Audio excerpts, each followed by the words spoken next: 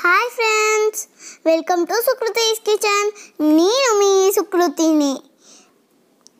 ఈరోజు మనం చేయబోయే రెసిపీ పాలకోవా. పాలకోవా ఎలా చేసుకోవాలో మనం చూసేద్దాం.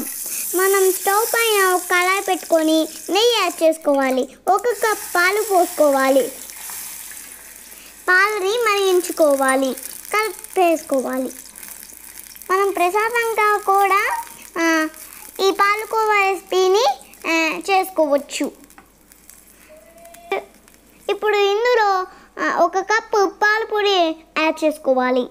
కలిపేసుకోవాలి. ఉండలు లేకుండా కలుపుకోవాలి. ఇది మొత్తం ఉండ లేకుండా కలిపేసుకోవాలి. ఇప్పుడు ఇందులో హాఫ్ కప్ మైదా పిండి యాడ్ చేసుకోవాలి. కలిపేసుకోవాలి. ఇప్పుడు మొత్తం ఉండలు లేకుండా కలిపేసుకున్న తర్వాత ఇందులో మనం హాఫ్ కప్ పంచదార పొడి యాడ్ చేసుకోవాలి కలిపేసుకోవాలి. కొంచెం గట్టి పడే వరకు స్మూత్గా అయ్యే వరకు కలుపుకోవాలి. ఇప్పుడు కొంచెం నెయ్యి యాడ్ చేసుకోవాలి. కలిపేసుకోవాలి. నెయ్యి మొత్తం పిండికి పట్టిన తర్వాత స్టవ్ చేసుకోవాలి. ఒక ఫిఫ్టీన్ మినిట్స్ చల్లనివ్వాలి.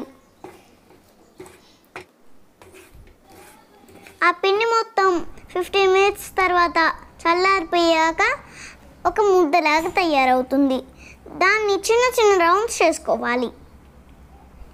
ఇది చాలా చాలా బాగుంటుంది. మీరు కూడా ట్రై చేయండి. ఇలా రౌండ్ చేసేసుకోవాలి. బౌల్లో పెట్టేసుకోవాలి.